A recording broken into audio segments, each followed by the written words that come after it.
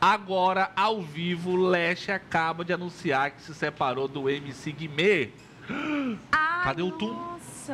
Cadê o tum? Eu faço. Pum. Mas põe.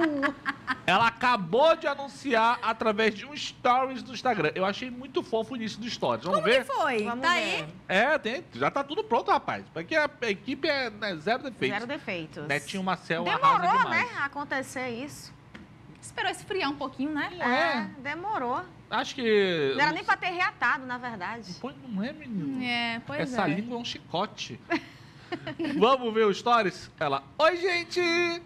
Eu e o Guimê não estamos mais juntos. Oh. Tentamos, mas decidimos seguir caminhos diferentes. Em respeito aos fãs, estou me pronunciando, mas não quero mais falar ah, sobre o assunto. Já falando, né?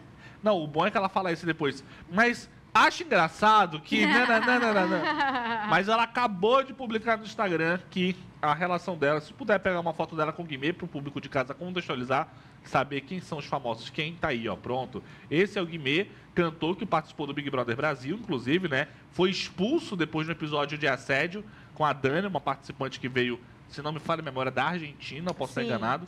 Do México. Foi do México ou da Argentina? México. México, né? Do México, para participar do Big Brother Brasil. É, a Leste é uma cantora bastante conhecida já. Depois dessa polêmica toda, eles voltaram a reatar o relacionamento e agora chegou ao fim. Certo?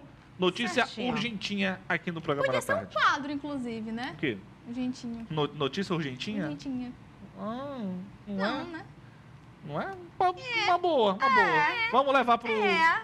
pro setor de criação. Gosto.